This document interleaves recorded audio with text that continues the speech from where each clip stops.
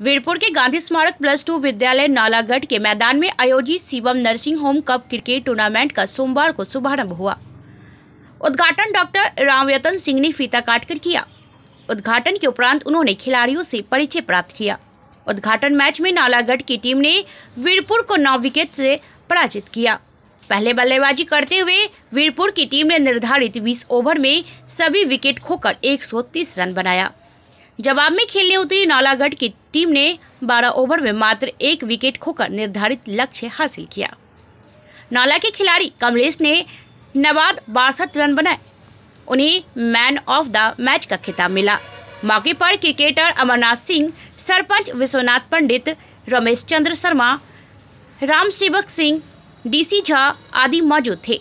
Match में umpiring Bambam Kumar एवं संतोष कुमार ने किया। स्कोरिंग का कार्य केशव कुमार ने किया।